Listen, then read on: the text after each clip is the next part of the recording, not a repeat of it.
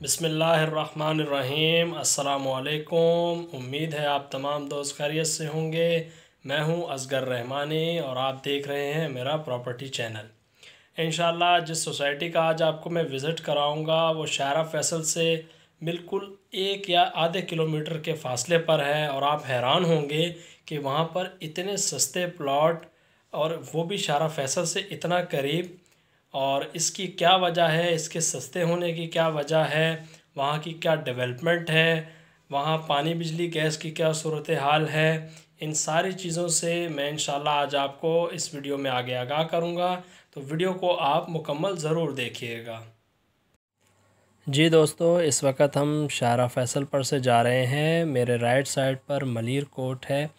और मलिर कोट से थोड़ा ही आगे आप जाएँगे तो लेफ़्ट टर्न आपको लेना है। लेफ़्ट टर्न लेकर आपने सोसाइटी का नाम है बाबा बवन शाह बुखारी। ये सर्वे लैंड है, मौरूसी ज़मीन है और लीज़ ज़मीन है, इसका कोई मसला नहीं है और इसके सस्ते होने की जो वजह है, जैसे मैंने वीडियो में पहले डिस्कस किया था, वो मैं इंशाल्लाह आपको आगे बताता हूँ कि यहाँ पर प्लॉट इतने सस्ते अभी तक क्यों हैं।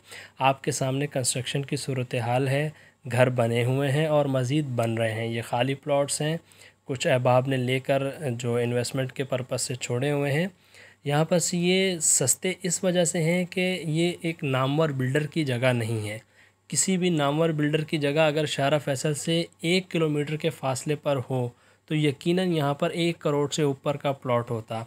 मगर यहाँ पर अभी भी प्लॉट 25 से 30 लाख रुपए के अंदर मिल जाता है, जो कि उन भाइयों के लिए बहुत रिजनेबल हैं, जो इस पचास साठ लाख रुपए में अपना घर बनाकर रहना चाहते हैं। अगर 25 से 30 में आपको प्लॉट मिल जाता है और आप उस पर कंस्ट्रक्शन करते हैं तो मुझे उम्मीद है कि आपका घर तैयार हो जाएगा। आपके सामने घर बन रहे हैं ठीक है, मैं आपको थोड़ा जूम करके गैस की अपडेट भी दिखा देता हूँ।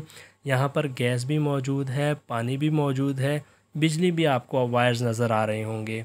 मुझे उम्मीद है आपको मेरी ये छोटी सी वीडियो ज़रूर पसंद आई होगी। अगर आप मज़ीद कोई डिटेल्स लेना चाहते हैं तो आप मुझसे व्हाट्सएप पर कांटेक्ट कर सकते हैं। मेरा नंबर स्क्रीन पर चल रहा है। अपना बहुत ख्याल रखिएगा और मेरी वीडियोस उन दोस्तों तक ज़रूर पहुंचाइएगा जो अब भी घर की तलाश में हैं। अपना बहुत सारा ख्याल रखिएगा। अल्लाह हाफिज़।